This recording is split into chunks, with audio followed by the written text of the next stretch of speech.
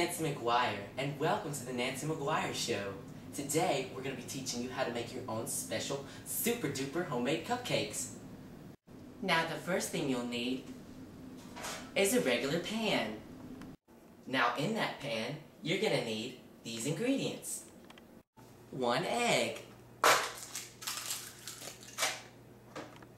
A spoonful of mayonnaise.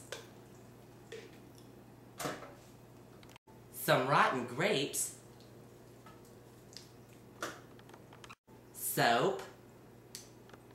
Hershey Kiss still in the wrapper.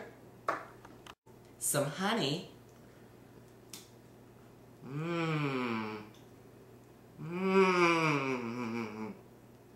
Some nuts.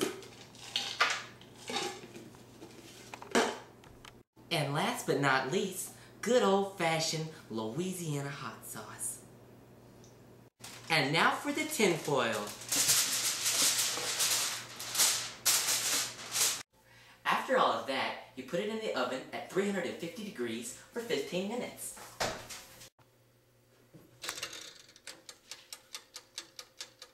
Now as we wait, I'm gonna wash up.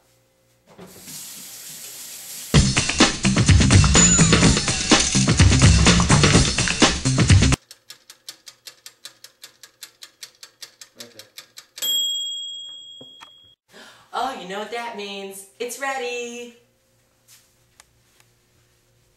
Now we're gonna put on our special glove. And we're gonna open up very cautiously. It's hot, people. Oh.